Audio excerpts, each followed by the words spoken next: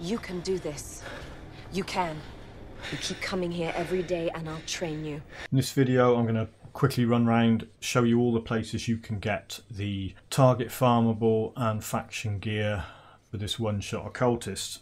Level 65, however, I haven't put any points into any skills since level 52, I think. I'm still wondering whether to go with it's down to Nightblade or Oathkeeper. I mean, you could do Necromancer, but those two are kind of. I don't really think they're going to buff the the single skill as much as Nightblade. I'll get into all that in, in another video. Don't worry about it for now. For now, let's go get some gear. We'll go and get that first, and in that location, you can also get that.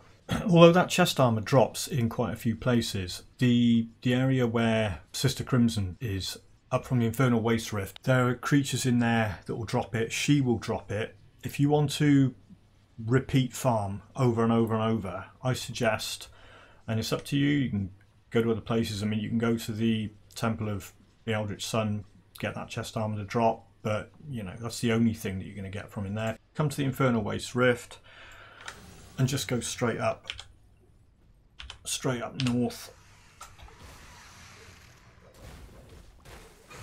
Try not to get into too many fights, unless you have to. Unless you have to, just get rid of them. Right, so the place you'll come into is this Tomb of Sethan.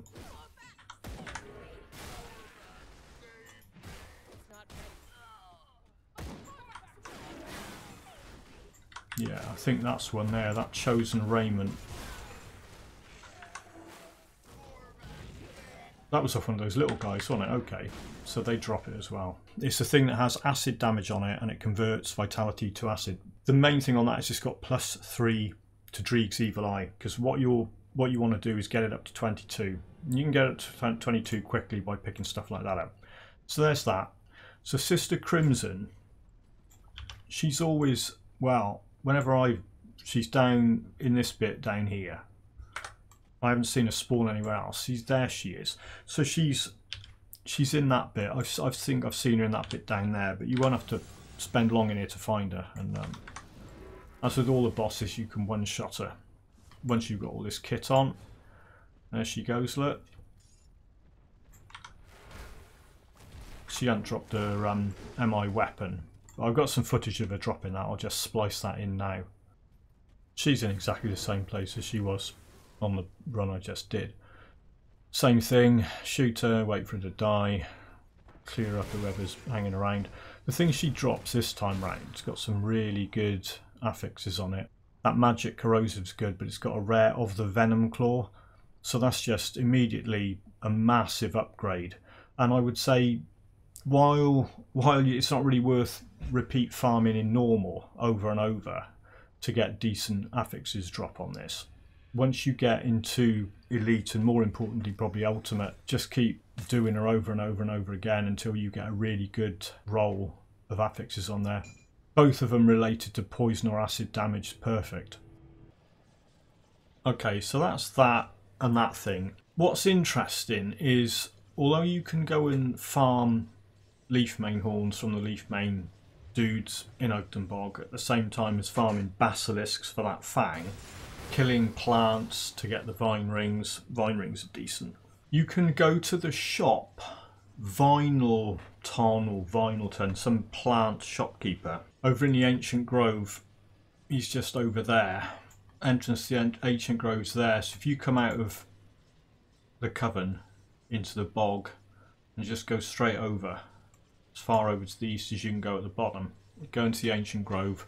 You need a skeleton key, and you can go in to the bit beyond the skeleton key, find Vinelton, who's the shopkeeper in there, and then what you can do is you can go into the next area on, which is through a little portal door, count to 10, go back through the portal door, go back to Vinelton. His inventory at his shop will have refreshed. So you can either go and target farm all this stuff, that thing, that thing, those rings, or you can go and force him to refresh his stock and buy stuff, or you can just go in there once and just buy one version of that. It's got a decent suffix, but the prefix is a bit garbage on that for me. Those rings, it's really just a case of getting them with some decent resistances on, because they by default they've got a bit of acid and poison buff on them. That thing, you're really only interested in the buff to Dreeg's Evil Eye, it will automatically come with some poison damage on it. If you're set on farming these because you want to get XP while you're doing it, these Leafmane Horns and this, if you go out of Ugdenbog Coven Refuge into the swamp bit here, there's always, always, absolutely, yeah, don't forget, turn your toggle skills on. There's always a whole bunch of basilisks just here.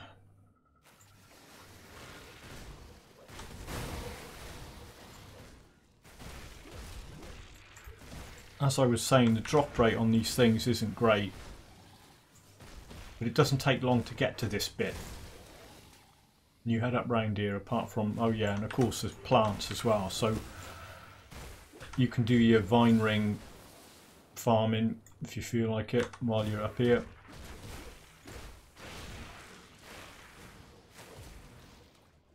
Sometimes there's more of those basilisks in that bit. There's some down here, look.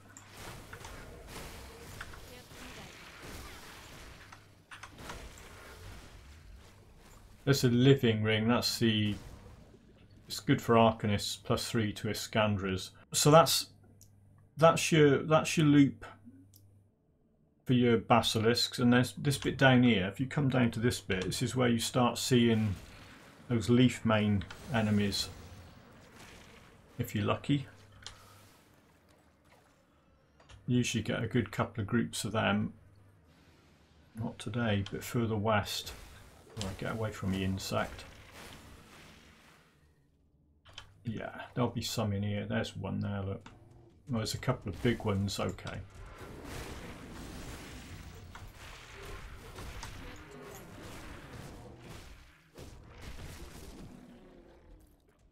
Of course, if you if you don't get the items drop, it's not because you're killing the wrong things. It's because the random loot luck isn't with you. So yeah, basilisks around there, Leafmanes around this bit. The other place you can go is if you go up to Barrowholm, run through the village, and then over just on the east. It's the area where you have to do the Barrowholm quests, where you have to restore the um, their shrine thing is and rescue those people. There's a bit of a circular area there, and there's a Barrowholm mine for a secondary quest.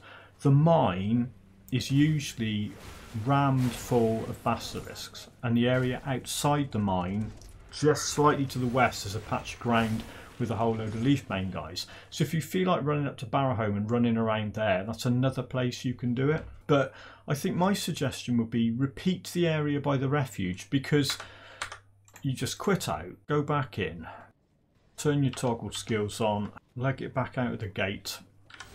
This is what I tended to do, but I mean, Vinelton's shop is guaranteed. So if you've got a skeleton key and you just got to you, you know nip across the ancient grove, you can buy all this stuff, but it is expensive. Some of them are hundreds of thousands.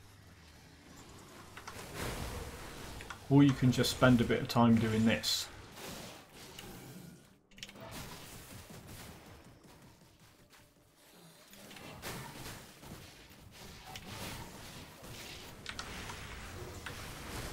Hey, nice. There you go. Look, I got a fang drop. Makes a change for me to actually demonstrate something in a video and have it happen. Thing is, that although that's got... Oh, there's two. Okay, right. Check that out. There's one up there. Mighty Basilisk Fang. Mighty's got... I think it's that plus 9% physique on it. Don't know what else. Aggressive of Ruin. Ruin's put the physical damage on there. Aggressive has given me plus 6% offensive ability. One I've got's better, I think, just about. I mean, that's got slightly more poison damage. And I mean, like I said, at this point, you don't really want to get into micromanaging the odd 1% of damage. Worry about that in Elite and Ultimate. don't worry about it so much in normal because you're going to be smacking everything so hard. I mean, I'll pick these things up. How? Right, so that's good. So that's a good demonstration so they were there. the reason why I'm checking the map is just to see you obviously don't want to go back to the green areas where you've been because it's all circles and around the houses. Oh look, there's millions of them here. Watch this lot going out.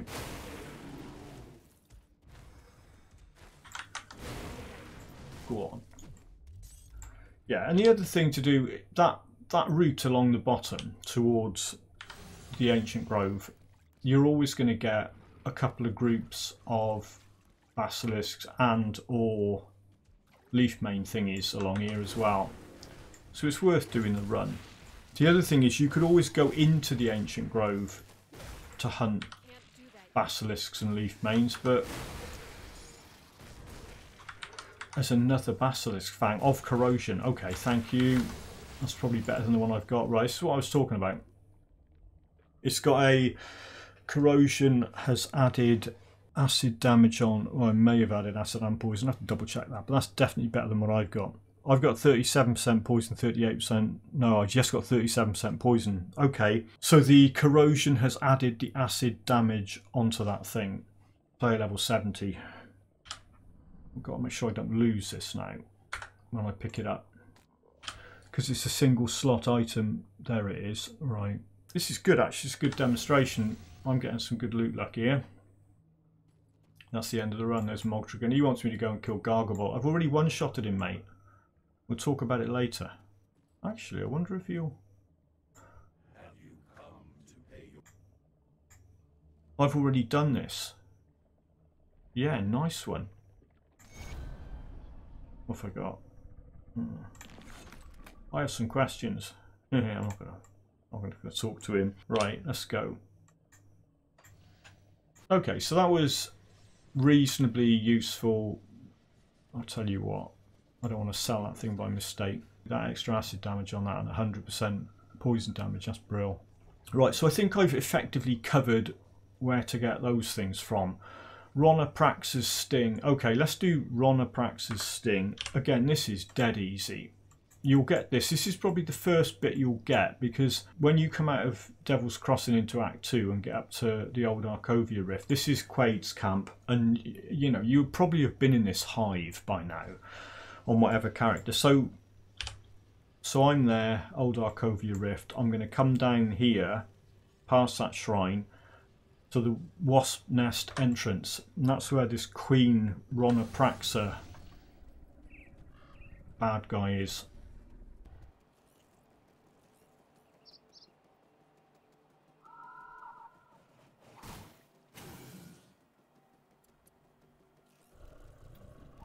Right, so you go in here.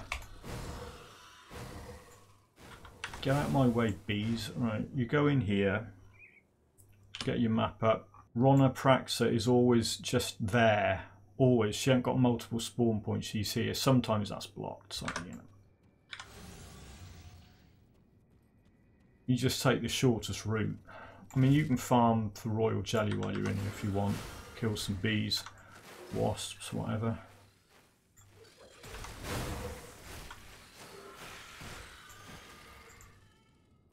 Right, so when you get to this, you get to here, you know she's up there. Early on she's quite nasty, but now it's like, hello, you're dead.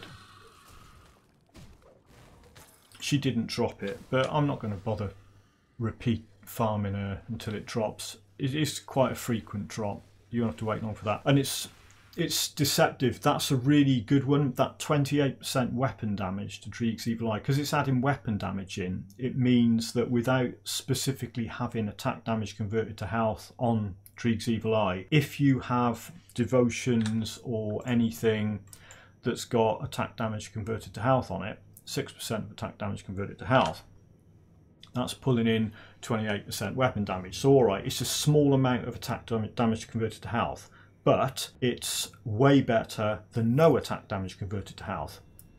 Later on, you'll get stuff that all One of them does, I can't remember which one. There you go. That actually puts 5% of attack damage converted to health on Dreeg's Evil Eye. But because Dreeg's Evil Eye is pulling in weapon damage, any generic attack damage converted to health will actually be factored in. So that's a good one to get. So there's the Stirring Hive. There's the rift you get to it from. So we've done that, that, this, this, that. Those rings, yeah, farm the plants in Ugdenbog or go and buy them from Vinelton. That Solael Sect leg guards, really it's just for the attack damage converted to health and they will drop with some good resistance rolls if you're lucky. Where does that come from? Broken Hills. This isn't the Dreeg's Evil Eye thing, but I'm going to do this anyway because it's quite important. If you you need the Hidden Path quest active, which means you have to go and kill the Dreeg boss, ironically, just outside Devil's Crossing, and then you come here. Broken Hills Rift, follow the path I'm running along. I'll get the map up once I get where I'm going.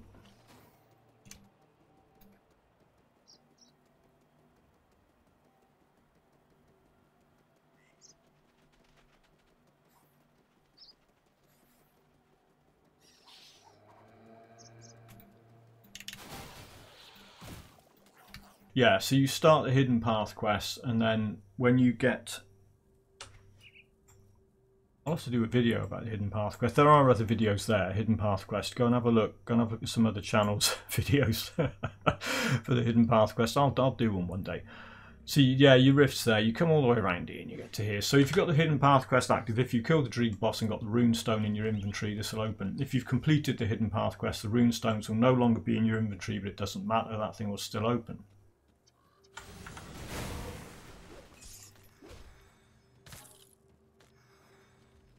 There's a tiny area and it's hidden. So it's not a lot of point you getting the map up. You come in through the gate and you go up. You go up this bit here and the Solael boss will spawn. Curse of Frailty, one shot, and he's dead. And he's dropped them. Hooray. Right. So after all these things, anything that drops a monster infrequent, the monster infrequent item will drop before you break the glowing boss ball. If you break the glowing boss ball, you get a bunch of other stuff worry too much about that.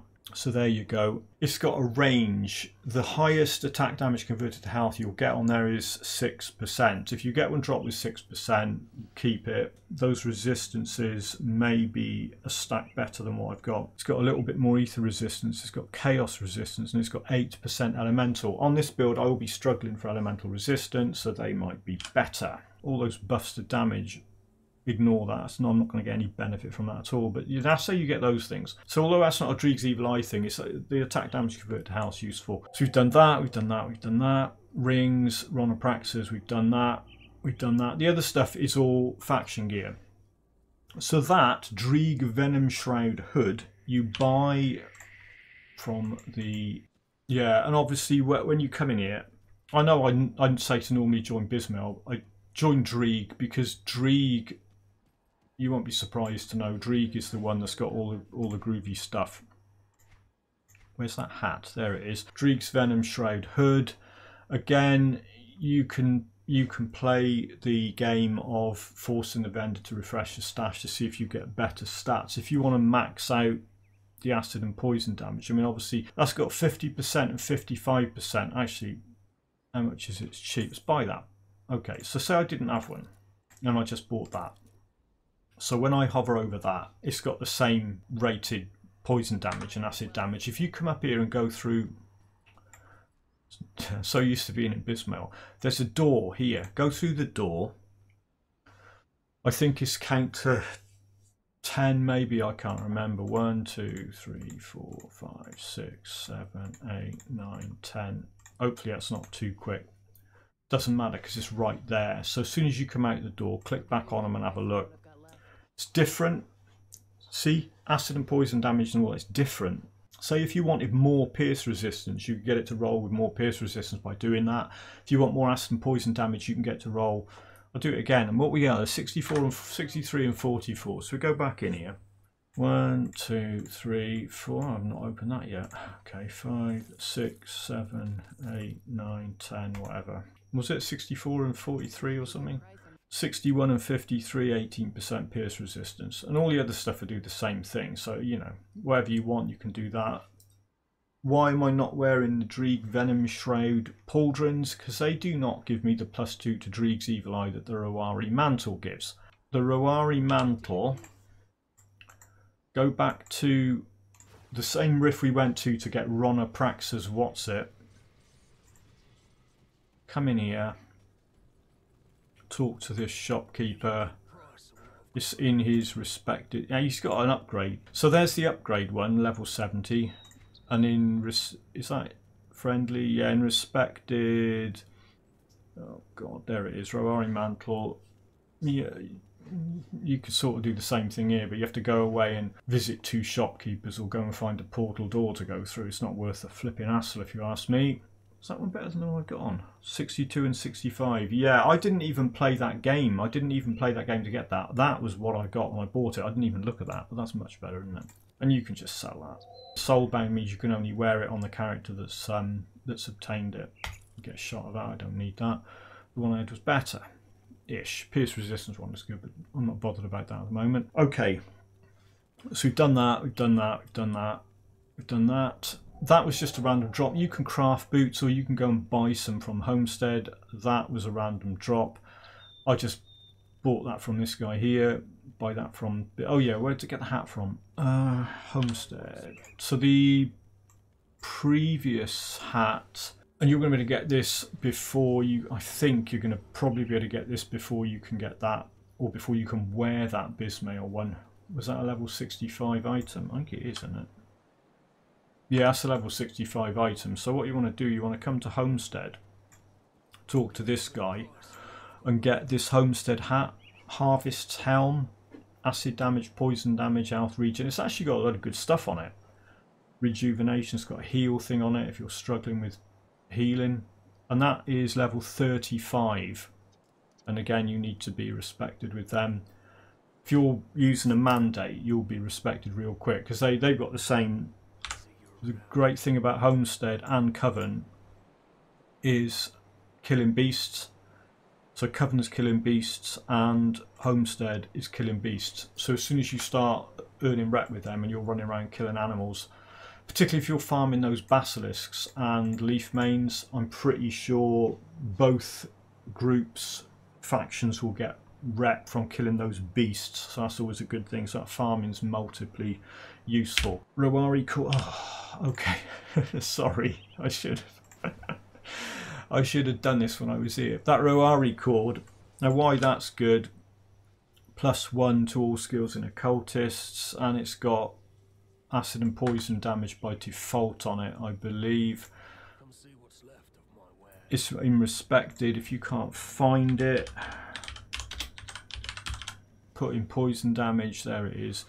Rhowari cord, yeah, it comes in acid and poison, plus one to all skills and occultist. So that one is the cord. I could be wearing the waist guard because I'm level 50.